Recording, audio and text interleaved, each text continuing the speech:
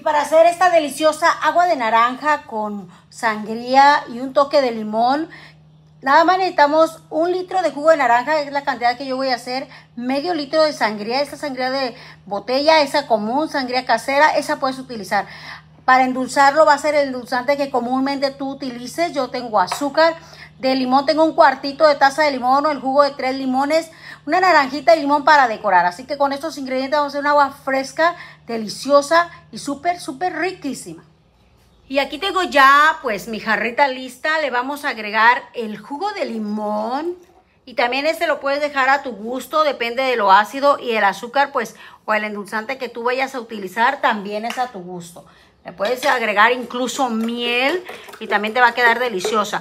Vamos a mezclar el azúcar y también le vamos a agregar lo que es la sangría.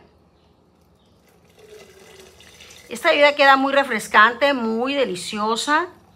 Será la sandía. Y ahí tú vas a probar, le puedes agregar un cuartito de litro de agua o le puedes agregar más jugo de naranja, pero ve nada más que chulada. Ahorita esto ya quedó delicioso. Voy a servir el vaso y ya se los muestro. Así de rápido es. Y así es como queda esta deliciosa agua fresca, amigos. Vean nada más que ricura, súper refrescante. Bueno, amigos, con esta vista tan deliciosa, se despide usted de la cocina y sus recetas. Gracias por estar aquí. Denle like, compartan, hagan lo que quieran, pero hagan esta deliciosa agua. Bye. ¿Ya se suscribieron? Mmm, chuli chuli.